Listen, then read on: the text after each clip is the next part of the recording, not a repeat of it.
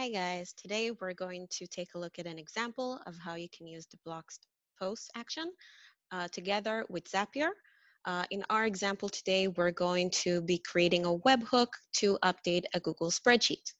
What we're going to need uh, for this uh, tutorial today is a BloX widget that contains all of the input fields for the information that you'd like to pass on for your spreadsheet a spreadsheet that already has the uh, structure defined and Zapier account. Um, now for very small usage with very basic zaps, you can actually create that for free. So it's very recommended um, and please do try it and play with that. So we're going to start by taking a look at our BloX widget. Our BloX consists of two columns. The first one actually contains this image. You guys can see that I've added a little bit of CSS in order to make it look pretty. While our second column contains this entire um, form. Um, it actually consists of multiple containers that I personally created for the sake of my convenience. The first one contains uh, the header, um, and that's basically the three text blocks that we can see on top. The second one is the actual form, where we can see a lot of input fields together with text blocks. Uh, each text block um, contains the description of the input, and the inputs themselves uh, are going to contain the information that we'd like to collect for spreadsheets. One thing that is very important when creating the input fields, if we'd like to pass on their value to, uh, to different actions, is that we have to give them the IDs that define where exactly should the information go to inside the action. Um, for example, if we take the uh, name input, we can see that this is a text input, uh, and we say that the information added inside this input should go into data and the attribute name. When we take a look at the number of slices, we see that under data, we'd like to add that to the attribute slices, etc., etc. Um, the toppings that we love are all toggle inputs. Um, we have the on and off values defined for them. These are the values that are going to be passed on for that action, and we can see that we've created an ID for each one of our toppings separately um, in our specific case. If we wanted, we could also uh, concatenate the values one after the other by using a multi-choice input. Now, if we go to the very bottom of our BloX widget, we can see that under the container of the form, we have an additional element. This is the action set. An action set is a container-like element that um, acts exactly like any other element. We can add it inside columns, inside elements. We can apply CSS on it. Um, but instead of containing other BloX elements, it contains actions. Um, in this specific case, I used an action set because I wanted the submit button to be contained inside this column and actually to be shown right next to the pizza image. If you wanted, you could add the action inside the action array um, you can go to the BloX documentation for more information about this. The structure of the action itself um, is this. In the type, we have the action submit and the post. This is what is going to tell BloX that we're using, that we're going to send a post request.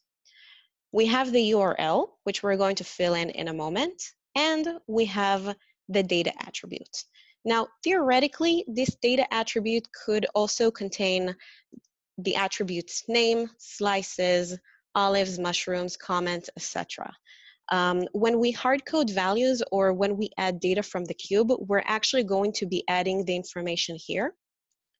So for example, if we wanted, we could add name, say the name is hard coded to Adi, we could add olives, etc., etc. In our case, when we use input, this is actually not necessary. And the reason is that when you give an input item, uh, an input element, an ID of data dot something, that value is actually going to be injected into the data attribute. So we're basically imitating a JSON where we added all of the information from our inputs, um, which is going to be planted directly into data. What we need to do after we, after we finish our BloX widget is uh, create a Zap. Creating a Zap is actually quite simple. When you go to Zapier, you click on Make a Zap. And we're going to select the webhook action. A webhook basically waits for different API requests. And once it's called, it's going to pass on the information to additional steps. Uh, we're going to uh, choose a catch hook, which is going to be waiting for our post request. And now we have the URL. At this point, our webhook doesn't have any specific structure. Uh, we're going to be dictating that structure using our actual BloX widget the first time that we define it. So let's copy the URL that we're getting for our webhook and go back to BloX. The URL that we got is now going to be added into our actions URL attribute. And for the first time, let's fill in our form. My name is Adi. I would like to have two slices, and I like olives, mushrooms, and pepperoni. Submit. Our um, form has been successfully sent, and now we can go back to Zapier and say that we already did try using the webhook. And lo and behold, Zapier has noticed that we've sent a request with the following information. Now, you guys can see that while we in BloX kept the data attribute as an empty object, um, the input elements have already injected themselves into the data that we sent to the webhook. So now we can continue because our trigger is completed and we can create the next step. In our case, the next step that we're going to want to create is an action, and we're going to choose a Google spreadsheet. Now, this is what is going to happen every time the webhook is called. Um, we are going to want to create a spreadsheet row in our Pizza Night spreadsheet that we've already created. Now, do note that if you're going to add records into an existing Google spreadsheet, it already has to exist and it has to have the appropriate headers like this. So again, we choose create spreadsheet row, we continue. We confirm our account. And by the way, this is where you authenticate. Anytime that you guys are going to be um, using the webhook, your users are going to be using the webhook, uh, this is the account um, for which the action is going to be provided and um, therefore it will be authorized to add those, um, those records. So let's continue.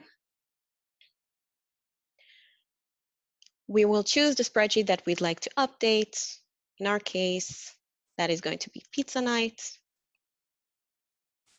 Inside the worksheet, we only have a single one, so we're going to be choosing orders.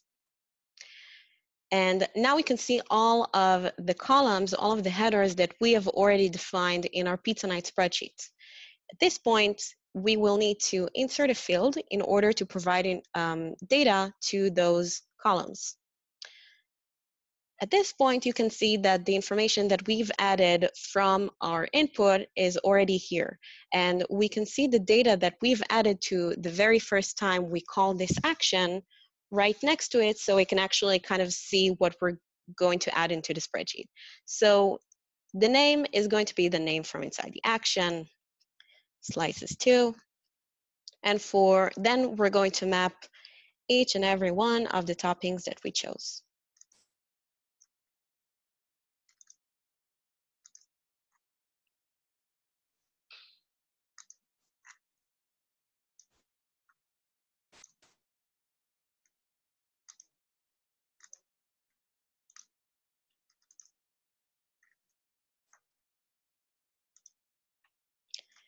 Wonderful. Let's continue. And now our ZAP is almost complete. We can see the data that we've sent. and we can send the test to our Google Sheets. So let's try that. And then go back to our pizza night spreadsheet. Now you can see my order. Um, Adi, I ordered two slices with olives, mushrooms, pepperoni, no pineapple, no pineapple, onions, anchovies. At this point, I didn't add any comments, um, though we could. Now our zap is completed, we've finished, and the most important part is giving it a name. So let's call it pizza night and turn it on. Do not remember this step. By default, all your zaps are off. That's it. Um, our zap is ready, our BloX is ready, and now we can go ahead and order pizza for other people. So I will be ordering pizza for my friend Ron. He'd probably like to have three slices, and I will assume that he likes olives, pepperoni, and maybe pineapple. I don't know. Let's submit, go back to our spreadsheet, and we have Ron's order as well. Um, any user which is going to have access to this dashboard will be able to submit their pizza order. Um, and that way we can actually get a lot of information into our spreadsheet. This is one example. Um, you don't have to order pizza. You can also create a feedback form. Um, you can get a lot of information. You can update records rather than adding them, or you can create use completely different apps for uh, your steps. Uh, you can send uh, messages in Slack. You could use Skype. You can basically do whatever you'd like as long as it is mapped to Zapier. Um, this dashboard is going to be um, is going to be available to you. So be sure to take a look at that and um, do cool stuff. We're here to help.